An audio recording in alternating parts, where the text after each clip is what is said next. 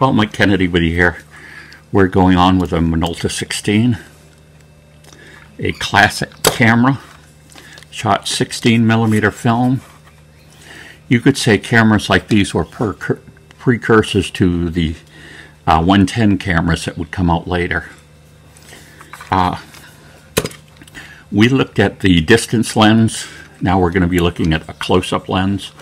I thought it might be good to show you exactly how in a little more detail that these filters, these little lenses are changed.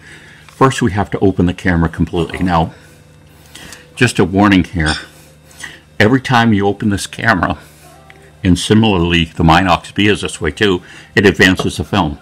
So whether you decide to take a picture at this point or not, uh, the film is going to advance here regardless.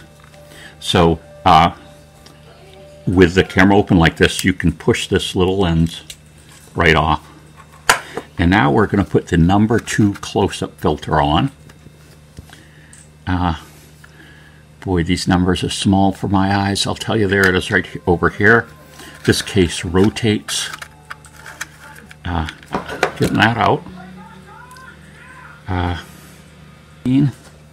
okay, so now there's channels on here. This is going to interface directly uh, onto this.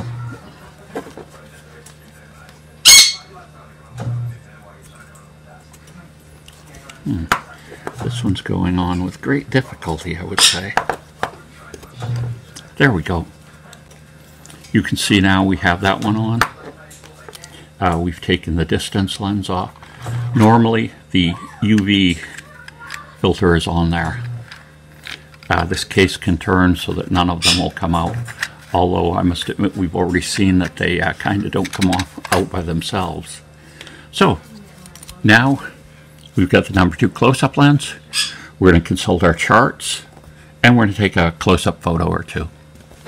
Here's our chart. If we look at number two, go over to F4, we've got 2.2 feet to 2.7 feet. I'll be using an exposure time of 130 So here's our setup. We have the Minolta 16 II mounted on a tripod. We have our subject area, which is going to be these wild violets that are also edible, just to let you know. And what we're going to do is we're going to use a tape measure to actually measure the distance from the camera to the subject. So we're all set up now. We're just going to press the shutter button. Hear the satisfying click.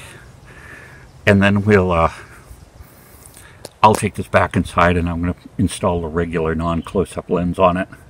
And we'll shoot off the remainder of the roll in the next few days.